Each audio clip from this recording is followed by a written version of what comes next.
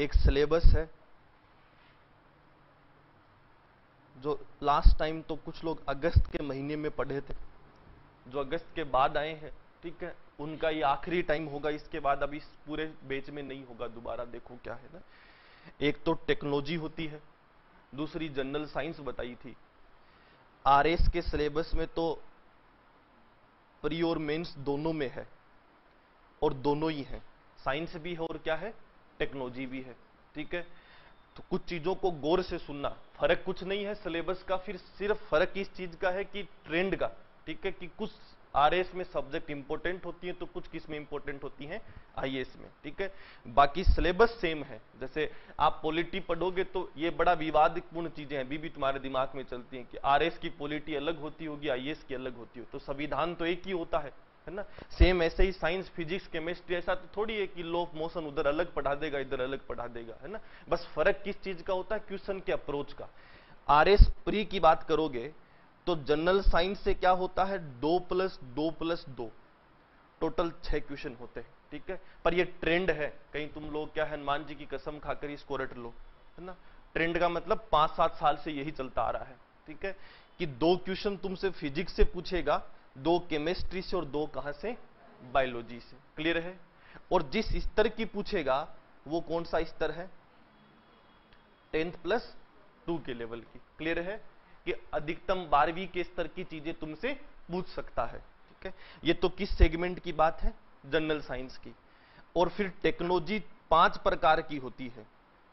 Science और technology में क्या फ़र्क होता है?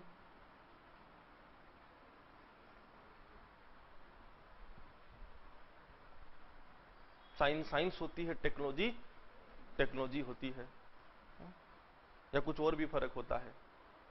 कितने लोग साइंस वाले हो, अच्छे से हाथ ऊपर करो बेशर्मो गौर से देखो इन चेहरों को। यही चुनौतियाँ हैं। साइंस मीन्स नॉलेज और टेक्नोलॉजी मीन्स तो क्या फ़र्क हुआ? नॉलेज दो भागों में होता बेटा, है ना? बहुत बार बताया है। एक इंफॉर्मेशन दूसरा विजडम है ना? तो तू उल्टा बोलता तो समझ में आता कि साइंस का मतलब तो इंफॉर्मेशन होती है, ठीक है? और टेक्नोलॉजी का मतलब क्या होता है? विजडम जहाँ तुम सिद्धांतों को पढ़ते हो, उसको तो हम क्या कह देते हैं? साइंस उन सिद्धांतों को जब व्यवहारिक जीवन में प्रयोग लेना शुरू कर दो तो उसको हम क्या कहते हैं? टेक्नोलॉजी। क्लियर है? तो महत्व किस चीज़ का होगा? टेक्नोलॉजी का। क्लियर है? तो कुल मिलाकर समझ आ रहा होगा कि जब तुम नौकरी पर जाओगे एक एक चीज़ को समझना, क्योंकि देखो, यही पीएमटी में पढ़ रहे होते तो पूरी साल कहाँ गुजारनी थी? इस साइंस के अंदर ही, ठीक है? आईआईटी में पढ़ रहे हो तो तो यही, पर यहाँ उल्टा है। यहाँ सिलेबस में बेचारे ने सामने लिखा कि सामान्य विज्ञान, है ना? तो हमें विज्ञान का विशेषज्ञ नहीं चाहिए। हमें वो चाहिए कि जब हम तुम्हें समझाएँ कि कलेक्टर बनने के बाद स्वास्थ्य की समस्याओं से क्या समस्या हो सकती है, तुम्हें ये पता होना चाहिए। तुम्हें यह पता होना चाहिए कि जब एक आदमी पूरे ज़िले में अगर उसको खांसी आ रही है, जुकाम लगी है तो चुनौती है कि सामान्य बात है। सामान्य है। पर पूरा जिला ही खांस रहा हो तो? तो चुनौती हो जाती है, उसको बायोलॉजिकल वीपन का अटैक कहते हैं, है ना? तो जब तुम्हें यही नहीं पता कि पूरा जिला खांस रहा है तो सामान्य नहीं है, चुनौती है। तो फिर तुम सामान्य मानकर नजरअंदाज कर दोगे तो फिर पूरा देश खांसने लगेगा, है ना? फिर आस पड़ोस के राष्ट्र खांसने लगेंगे, फिर पूरी दुनिया खांसने लगेगी, और तुम्हारे एक गलत निर्णय से पूरी दुनिया नष्ट हो जाएगी, है ना? तो हम नहीं चाहते कि तुम ऐसे कोयले बनो जो आगे चलकर चुनौती बने, है ना? इसलिए ज़रूरी होता है कि जब साइंस के सेगमेंट की बात करोगे तो कुछ बेसिक्स तुम्हें पता होने चाहिए, और टेक्नोलॉजी की बात करते हो तो ये व्यवहार का पार्ट है। इसलिए ज़्यादा रिलीवेंट तो कौन सा होता है? टेक्नोलॉजी इससे, हर टेक्नोलॉजी से दो क्वेश्चन आते हैं आर एस प्री के अंदर। ठीक है? कुछ विद्वान तुम में से क्या करते हैं कि जब ये बताता हूँ तो केवल सुनते हैं। मैं ये हर साल, हर बेच में बताता हूँ। समझ आ रही है बात को? तो ये लिखने के होते हैं ताकि तुम्हारे बच्चों के काम आए कि जब पढ़ें तो कौन सी चीज़ में कौन से क्वेश्चन आएँगे? जब टेक्नोलॉजी की बात करते हो तो पाँच होती है। एक आईटी होती है इंफॉर्मेशन टेक्नोलॉजी एक बायो होती है, तीसरी नैनो होती है, चौथी डिफेंस सुना होगा, और पांचवी कौन सी होती है? स्पेस तो पाँच तकनीकी होती है ना, सूचना प्रौद्योगिक होती है, जैव प्रौद्योगिक होती है, ठीक है नैनो प्रौद्योगिकी होती है, रक्षा प्रौद्योगिकी और अंतरिक्ष प्रौद्योगिकी। हर से दो दो क्वेश्चन आएँगे। समझ आ रही है बात को? पर सारे के सारे करंट के आएँगे। किसके आएँगे? करंट के। अर्थात जिस साल पढ़ रहे हो, उस साल अगर स्पेस में कुछ नया हुआ है तो 100 परसेंट वही आएगा। ठीक है? नहीं हुआ है तो जो पिछले साल हुआ था, वो आएगा। लेकिन जो पहले दिन तुम पढ़ोगे, जैसे सपोज़ करो, आज हम पढ़ना शुरू करेंगे तो छह या सात दिन लगेंगे इसको पढ़ने में। तो जो शुरुआत के पाँच दिन पढ़ोगे, वो कभी एग्ज़ाम में नहीं आएगा। समझ आ रही है? हंड्रेड परसेंट एग्ज़ाम में नहीं आएगा। किस एग्ज़ाम की बात कर रहा हूँ? प्री की। ठीक है? कभी नहीं आएगा। तो फिर सवाल यह आएगा दिमाग में कि पढ़ क्यों रहे हो? है ना? तो जो छठे और सातवें दिन पढ़ना है, वो समझ नहीं आएगा अगर तुमने पाँच दिन नहीं पढ़ा हो तो। क्लियर है? इसलिए हम लोग इन चीज़ों को पढ़ते हैं। तो हमेशा करंट से जुड़ी चीज़ें आएँगी जो दो क्वेश्चन होंगे। तो हर साल एग्ज़ाम जब दो तो एक आइडिया रखना कि साल एक ओवरऑल करंट में हमें तैयार करना है कि स्पेस के अंदर क्या नया हुआ है डिफेंस के अंदर क्या नया हुआ है। जैसे राफेल की बात कर रहे हो तो डिफेंस सेगमेंट है, ठीक है? जैसे ही भारत की सेना में शामिल हो जाएगा, तुम्हारे सिलेबस में एक क्वेश्चन बन जाएगा। याद रखना, जब तक शामिल नहीं होता, तब तक वो अभी क्वेश्चन का पार्ट नहीं है। क्लियर है? तो ये हमेशा किस पर डिपेंड करता है? करंट पर। क्लियर है? अब जरा देखो। सेम कहानी मेंस के अंदर है आरएस में। फिजिक्स से भी क्वेश्चन पूछता है, केमिस्ट्री से भी पूछता है, बायोलॉजी से भी पूछता है और पूरी टेक्नोलॉजी से भी पूछता है। तो कुल मिलाकर आरएस में पूरी जनरल साइंस और पूरी टेक्नोलॉजी है, प्री और मेंस में भी। प्री में लगभग 16 क्वेश्चन होते हैं, ठीक है? दोनों के मिलाकर यही होता है। तो 16 क्वेश्चन 150 में से होना अपने आप में एक महत्वपूर्ण पार्ट है, ठीक है? अब दिमाग में एक छोटी सी चीज़ सबके चल रही होगी। साइंस वाला तो खुश हो रहा होगा कि 16 तो पूरे बाएँ हाथ का खेल है है ना? तो सबसे ज़्यादा गलत तुम्हारे ही होंगे, अभी से लिख लो, है ना? ठीक है?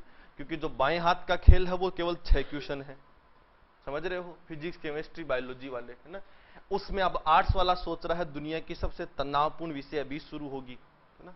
तो अभी जब फिजिक्स, केमिस्ट्री, बायोलॉजी पढ़ोगे तो देखना, वो सब नहीं है जिससे तुम डर रहे हो, ठीक है? जैसे पॉलिटी पढ़े थे इजी वे में, ऐसा ही यहाँ पर है।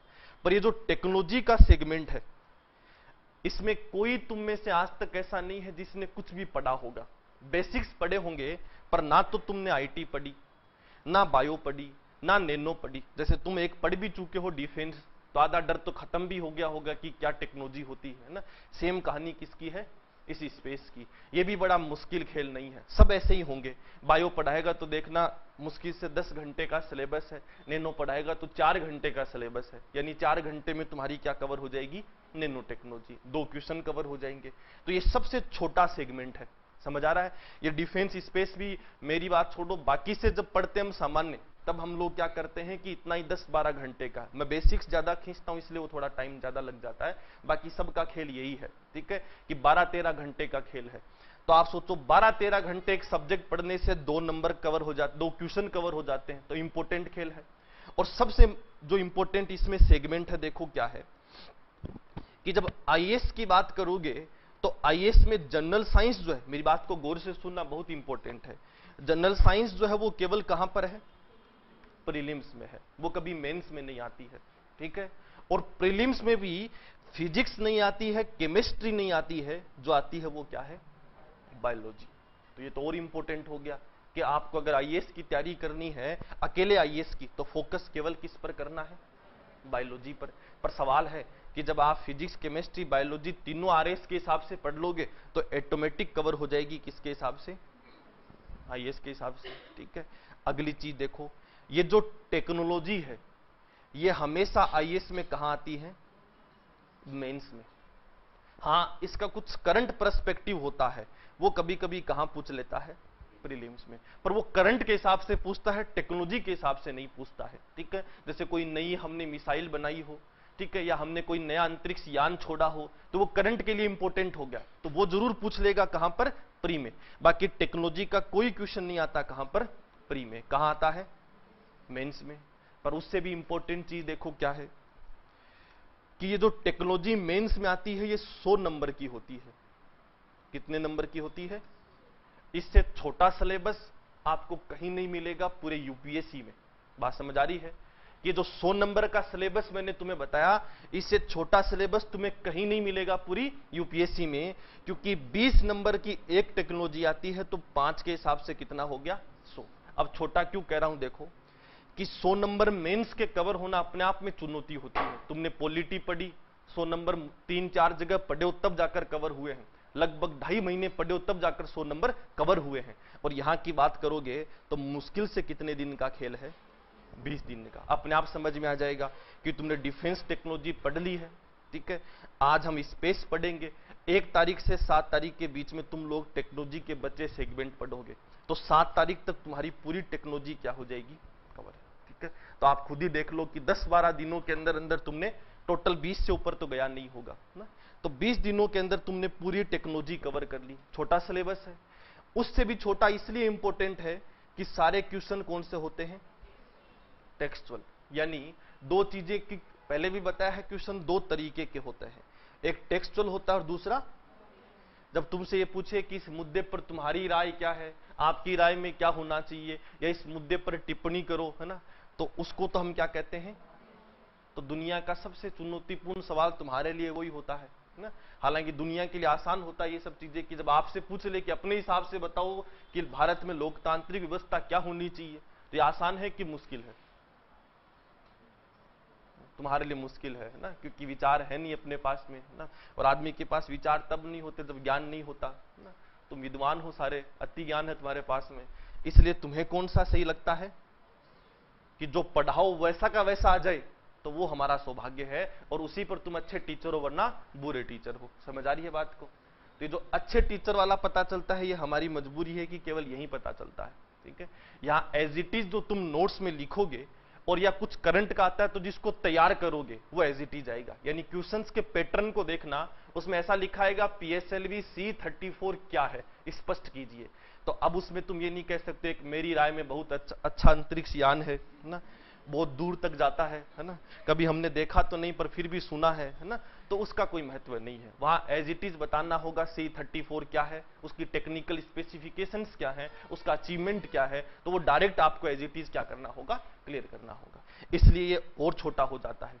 सिलेबस टाइम पीरियड के हिसाब से छोटा है, और पढ़ने के हिसाब से क्या है टेक्सचुअल है, इसलिए अपने आप आसान लगना क्या हो जाता है? और अगर तुम्हें अपनी रैंक सुधारनी हो, या एग्ज़ाम को पास भी करना हो, तुम्हारी भाषा में बात करूँ तो है ना? तो उसमें सबसे बड़ी जो रामबाण होती है, वो क्या होती है? टेक्नोलॉजी क्योंकि ये सौ नंबर ऐसे हैं जो चाहकर भी कोई काट नहीं सकता। यदि आपने आंसर सही लिखा है तो। क्लियर है? और अगर नहीं लिखा है, तब एक अलग बात है। बाकी जहाँ राय पूछ रहा है, वहाँ तो आपकी राय किससे मिलनी चाहिए? सामने वाले से, तब जाकर नंबर मिलेगा। पर यहाँ तो 100 परसेंट है कि जो सा पूछा है, उसका स्पेसिफिकेशन तुमने पूरा लिख दिया है तो कोई तुम्हारे नंबर नहीं काट सकता। वो एज इट इज़ ही तुम्हें लिखना है। इसलिए इजी हो गया है। तुमने डिफेंस पढ़ाई है, ठीक है? अब जो अगला टेक्नोलॉजी का सेगमेंट है, वो देखो कौन सा है? स्पेस टेक्नोलॉजी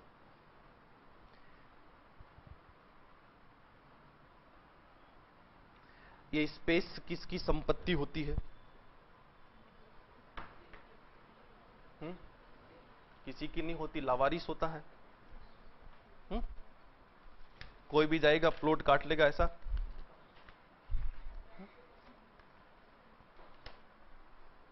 ऐसा ही है क्या? कोई भी जाए, अपना प्लॉट काट ले, रजिस्ट्री बना ले वहीं पे। ऐसा है? हुँ? तो फ़िलहाल तो ऐसा ही है ना? क्योंकि तुम्हारी भाषा में जो ऊपर जाता है, वापस नहीं आता है ना? इसलिए अनुमति है उधर प्लॉट काटने की, तुम काटो। है ना? क्योंकि कुछ भीड़ कम होगी इस राष्ट्र में, वही बहुत अच्छी है ना? तो प्लान बनाओ सारे चाँद पर पहुँचने का ना? और वहीं रहना शुरू कर दो, है ना? पर रोज अखबार में पढ़ रहे हो कि इंसान ने क्या है, नई चुनौतियाँ दे दी इस विज्ञान को, है ना? जहाँ नहीं रहना संभव है, वहाँ रहना शुरू कर रहा है। सुना होगा 2008 के अंदर भारत दुनिया का वो राष्ट्र बना जिसने चंद्रमा पर पानी ढूंढ लिया, है ना? तो अभी तो पानी ढूंढ कर आए हो पाँच दस साल में क्या करोगे, ये घोषित कर दोगे कि उधर रहने लायक है जगह, है ना? अमेरिकी अमेरिकी कह रहे हैं कि 2022 तक तो हम रहना शुरू कर देंगे उधर, है ना? फिर उधर अमेरिकियों का, सुना तो रूस वाले नाराज़ हुए, उन्होंने कहा, हम भी चौबीस तक रहना शुरू कर देंगे, है ना? चीन वालों ने कहा, हम भी कमज़ोर नहीं है, बत्तीस तक हम भी रहना शुरू कर देंगे, ठीक है? जापान वालों ने कहा कि, तुम हमारे दुश्मन हो, तुम 2032 तक रहोगे तो हम भी तुम्हारे साथ रहेंगे 2032 तक, है ना? उधर भारत कह रहा तुम सब चलकर उधर मकान वकान बनाओ, हम आते हैं। ना? ठीक है, हम भी बत्तीस, तैतीस के बाद सोचेंगे आने का। तो दुनिया में एक बड़ी प्रतिस्पर्धा इस क्षेत्र को लेकर। ये एक ऐसी चीज़ है जो तुम्हारे को अभी भी काम आएगी, नौकरी के दौरान भी काम आएगी और ट्रेनिंग के दौरान भी पढ़ना पड़ेगा। एक ऐसा सेगमेंट होता है जिसका राष्ट्र के लिए बहुत बड़ा महत्व है, ठीक है? जब आप टेक्नोलॉजी की बात करते हो तो अंतरिक्ष टेक्नोलॉजी की वजह से, जैसे आज मैं यहाँ बैठकर दुनिया में पढ़ा रहा हूँ तो ये किसकी वजह से है? तुम फ़ोन पर बात करते हो किसकी वजह से है? स्पेस टेक्नोलॉजी की वजह से है। तुमने देखा कि बालाकोट में हमने कोई सर्जिकल स्ट्राइक किया किसकी वजह से है? तुम्हें कैसे पता चला बालाकोट कहाँ पर है? तुम्हें कैसे पता चला कि वहाँ आतंकी हैं? है ना? ये मानवीय आधार पर कभी संभव नहीं है याद रखना। तुम कहीं सोचो कि उधर से फ़ोन किया होगा किसी ने कि तुम इतना अंदर आ जाना, चौवन किलोमीटर गिनकर मैं एकदम पैदल जाकर गिनकर आया था और वहाँ आकर तुम आक्रमण कर देना। ऐसा नहीं है। सब खेल किसका होता है? स्पेस टेक्नोलॉजी का। तो फिर केजरीवाल जैसे आदमी सबूत मांगे कि तुमने किया कि नहीं किया तो ये भी कौन देगा? सुना होगा ना, एयर, हम लोगों ने वहाँ के एयर स्ट्राइक के फ़ोटोज़ जारी किए हैं, ठीक है? और कौन हमारे ऊपर आक्रमण करेगा, कब करने वाला है, क्या प्लानिंग चल रही है, ये सब किससे पता चलता है? स्पेस टेक्नोलॉजी से। तो ये एक तरीके का कैमरा होता है। तुम्हारी भाषा में कहूँ तो इंसान की तीसरी आँख होती है जो कहाँ लगाई जाती है? अंतरिक्ष में। हम इस आँख को अंतरिक्ष में टांग कर पूरी दुनिया देख सकते हैं, दूसरों के घर में देख सकते हैं। हालाँकि आदत बुरी होती है, ऐसा नहीं देखना चाहिए, पर राष्ट्र के लिए ऐसा करना पड़ता है। पड़ोसी कम, बंद कमरे में तुम्हारे खिलाफ क्या कर रहा है? ये जब तक तुम्हें पता नहीं चलेगा, तब तक तनाव रहेगा। रहेगा कि नहीं रहेगा? हो सकता है वो आवाज़ें निकाल रहा हो कि मैं बम बना रहा हूँ, लेकिन हकीकत हो कि उसको बम बनाने ही ना आए, है ना? तो ये आवाज़ें कैसे पता चले हमें? ये किससे पता चलता है? स्पेस टेक्नोलॉजी से। पाकिस्तान ने कहा, हम परमाणु बनाएँगे। है ना? हमने पूछा कहाँ बनाओगे? कहा? ये नहीं बना, बताएँगे लेकिन बहुत भारी मात्रा में बनाएँगे। और ऐसा बनाएँगे कि पूरा भारत एक साथ क्या कर देंगे? खत्म। तुम्हारा तो तनाव शुरू है ना? क्योंकि नाम किसका है? अभी केन्या ने कहा होता तो। तुम कहते सुबह सुबह मज़ाक मत किया करो है ना? ठीक है अभी खाना बनाओ है ना? पर पाकिस्तान ने कहा है तो चुनौती है ना? अब आप सोचो तनाव पैदा होगा। तनाव पैदा होगा तो तुम कैसे कह सकते हो कि हम सुरक्षित हैं? कभी संभव नहीं है ना। सुरक्षित आदमी क्या होता है? जो भौतिक तौर पर, मानसिक तौर पर, दोनों तौर पर क्या हो? सुरक्षित हो। अब आदमी दिन रात ये सोचकर डर रहा है कि मैं मर जाऊँगा, है ना? तो और तनाव पैदा होगा, है ना? तो इससे अच्छा है कि हम खुले घूमे, हम स्वतंत्र होकर घूमे। इसके लिए ज़रूरी है कि हमें ऐसी टेक्नोलॉजी का प्रयोग करना पड़ता है। हमने क्या किया? अंतरिक्ष में अपनी तीसरी आँख लगा रखी है। कोई देख सकता है कहाँ लगा रखी है? नहीं देख सकता। तो हमने क्या किया? उस आँख को निर्देशित किया कि जा पूरा पाकिस्तान घूमकर और पता कर कि कहाँ पर क्या चल रहा है ना? तो उसने बताया पूरे पाकिस्तान में कि पटाखे बनाने की फैक्ट्रियाँ चल रही हैं, बम नहीं बन रहा, है ना? तो फिर उधर उन्होंने कहा, पूरा भारत उड़ाएँगे। हमने कहा, दिवाली पर आना, है ना? काम आएगा। क्योंकि हमें कैसे पता चला? स्पेस टेक्नोलॉजी से। तो इसका मतलब रणनीतिक महत्व भी रखता है। क्लियर है? धीरे धीरे जनसंख्या बढ़ रही है ना? इस भारत की आकार तो सीमित रहेगा, लेकिन जनसंख्या बढ़ेगी। और जैसे जैसे तुम जैसे लोग बढ़ रहे हैं, शहरीकरण की मांग कम हो रही है कि ज़्यादा? ज़्यादा हो रही है। तो एक अनडेवलप्ड प्लान होता है प्लान तरीके से डेवलपमेंट होता है, ठीक है? अनडेवलप्ड प्लान क्या होता है कि अब जैसे जनसंख्या बढ़ रही है तो सीकर फैल रहा है। देख रहे हो? हर दिशा में फैल रहा है। तो ज़ाहिर सी बात है, कृषि ज़मीन का हम लोग अधिग्रहण कम कर रहे हैं कि ज़्यादा? तो फिर संसाधन कम नष्ट हो रहे हैं कि ज़्यादा? तो फिर जहाँ बंजर ज़मीन पड़ी है, वहाँ तो हो सकता हम गए ही नहीं हो। और हमने कृषि ज़मीन खराब कर कर क्या कर दिया? शहरीकरण बढ़ावा दिया। तो ये अनप्लान डेवलपमेंट है एक तरीके का। ये हमारे लिए भविष्य में चुनौती देगा। क्योंकि भारत तो बढ़ने से रहा। भारत तो इतना ही रहेगा। और अगर हमने ऊपर से देख लिया होता कि भारत के किस भाग में संसाधन है और किस भाग में भूमि जो है वो गैर उपयोगी है तो उस हिसाब से फिर हम डेवलपमेंट प्लान करते, हम अर्बनाइजेशन की प्लानिंग करते, हम देखते कि दिल्ली को किस तरफ़ बढ़ाना है, हरियाणा की तरफ़ बढ़ाना है, कि उत्तर प्रदेश की तरफ़ बढ़ाना है, कि उधर हमें जम्मू कश्मीर की तरफ़ बढ़ाना है। क्योंकि जहाँ गैर कृषि भूमि हो, वहाँ बढ़ाने में हमें फ़ायदा होगा, आबादियाँ बढ़ेंगी। तो सारी चीज़ें यही है। समुद्र में किस जगह कहाँ संसाधन मिलता है, ये हमें तब पता चलेगा जब हमारे पास क्या हो, स्पेस टेक्नोलॉजी। एक तरीके का उपग्रह लगता है, ठीक है? उस उपग्रह के अंदर एक कैमरा होता है। वो कैमरा ज़मीन पर देखता है कि क्या चल रहा है, क्या नहीं चल रहा है। बेहतर तकनीकी किसकी होगी? बेहतर स्पेस टेक्नोलॉजी किसकी होगी? जिसका कैमरा बेहतर देख सके, ज़्यादा नज़दीक से चीज़ों को देख सके, ठीक है? तो हमारे पीछे एक चुनौती है है ना? हम बैकग्राउंड्स पर बात कर रहे हैं, इसलिए डिटेल में पढ़ रहे हैं, ठीक है? कि 2008 से पहले हम लोग क्या करते थे कि हमारा जो चौकीदार हमने ऊपर बिठाया है वो केवल दिन में ही चौकीदारी कर सकता था। तो ऐसा चौकीदार किस काम का जो दिन में ही काम का दिन के उजाले में तो कोई नहीं आएगा ना? सारे काले काम कब होंगे? तो रात को चौकीदार सो जाता है ना? कि मैं देख नहीं सकता हूँ। ये हमारी तकनीकी कमज़ोरी थी। कि before 2008 we are not visible to see in night 2008 से पहले किसी भी परिस्थिति में भारत के पास ऐसी कोई तकनीकी नहीं थी कि हम रात में होने वाले किसी आक्रमण को देख सके, किसी गतिविधि को देख सके। हम लोगों के पास ऐसे ही कैमरे थे या ऐसी ही सैटेलाइट थी जो केवल कब देख सकती है? दिन में देख सकती है। तो कारगिल युद्ध की प्लानिंग रात में हुई, ठीक है? कारगिल युद्ध के बाद जब पूरी परिस्थितियों की बात करोगे 2008 में मुंबई अटैक हुआ था। तो वो बड़ा अपने आप में एक विवादपूर्ण कहानी थी, है ना? तुम ये कहो कि हम पाकिस्तान से सुरक्षित हैं। तुम ये कहो कि दुनिया की सबसे बड़ी नौसेना है। तुम ये कहो कि दुनिया की दूसरी बड़ी फौज हमारे पास में है। तुम ये कहो कि दुनिया में हम परमाणु संपन्न हैं। बाद में केन्या वाले आए और आकर जड़ जाएँ तो अपने आप में एक चुनौती है ना? पाकिस्तान से एक जहाज़ निकलता है। हमें नहीं पता कब निकलता है। वह जहाज़ पाकिस्तान का होता है। पाकिस्तान के अंतर्राष्ट्रीय सीमाओं को पार करता है। वह अंतर्राष्ट्रीय सीमा में आता है। भारत के जहाज़ को लूटता है, भारत के जहाज़ में दस लोग बैठते हैं, वो भारत की सीमा में आते हैं और वहाँ से आराम से वो लोग क्या करते हैं, मुंबई के तट पर उतर जाते हैं। बड़ा लंबी प्रक्रिया है, आसान खेल नहीं है, लेकिन जिस तरीके से हुई, वो दुनिया में चौंकाने वाली थी। हमारी सेना से पूछा गया कि ऐसा क्यों हुआ कि तुमने उसे रोका क्यों नहीं? तो उन्होंने कहा कि उस जहाज़ पर भारत का झंडा लगा था, इसलिए हमें लगा किसकी जहाज़ है, बड़ी चुनौती है। क्या लगता है कि उधर वाले आएँगे तो बताकर आएँगे कि ये पाकिस्तान का झंडा लगा रखा है? हम आतंकवादी हैं या पहचान पत्र पहनकर आएँगे कि हम दुनिया के कुख्यात आतंकवादी हैं? जैसे ही तुम्हारी सीमाओं में आते हैं, गोली मार देना, ऐसा? या फ़ोन कर कर तुम्हारे कमांडर को कहेंगे कि रात आठ बजे आ रहे हैं, देख लेना ना? नहीं संभव है ना? सवाल यह है कि कैसे इंटेलिजेंस फेल हुआ? सवाल यह है कि कैसे मानवीय भूल हुई?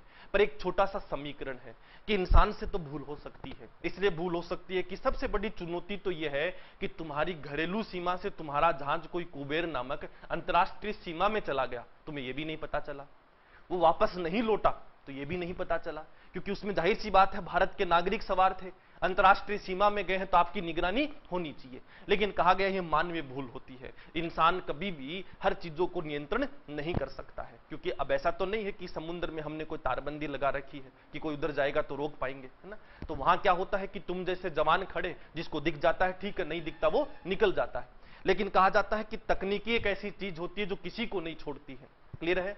तो जब इसकी बात आ जाए हमारे पास में अभी आप खुद सोचो कि नीचे चौकीदार खड़ा करूँ, इससे अच्छा है पूरी बिल्डिंग में कैमरा लगा दूँ। कौन सा इंपॉर्टेंट है? यही वाला, कि वो सब जगह को कवर करेगा, हर क्षेत्र को कवर करेगा। पर चुनौती तब होती है कि जब वो कैमरे दिन में भी काम करने चाहिए, रात में भी, वो हर मौसम में काम करने चाहिए, तब जाकर मेरे लिए सफल होंगे, वरना नहीं होंगे। ऐसे में जब इस तकनीकी की बात करोगे तो सबसे बड़ा फेलियर था कि हम लोग रात में नहीं देख पाते थे। तो हमें पता चला, बाद में हमने जब शोध किया इन चीज़ों पर, कि 10 लोग आ रहे थे अंदर, लेकिन एक के ऊपर एक दिख रहे थे, क्योंकि दिन के कैमरे से रात में काम करवाओगे तो नहीं काम करेगा। तो हमें पता नहीं चला कि क्या हुआ है, क्या नहीं हुआ है। 2008 के बाद हमने इस पूरे क्षेत्र में बहुत बड़ा काम किया, और काम करने के बाद हमने कोई रीड सेट टू नामक व्यवस्था स्थापित की, ठीक है?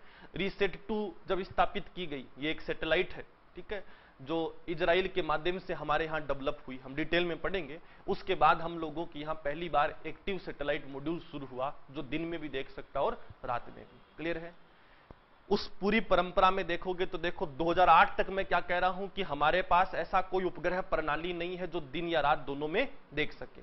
पर 2014 में तुम सुनते हो कि विश्व रिकॉर्ड बनाया एक साथ 104 उपग्रह ले जाने का किस राष्ट्र ने? भारत में क्लियर है? ये तो अजीब कहानी है है ना?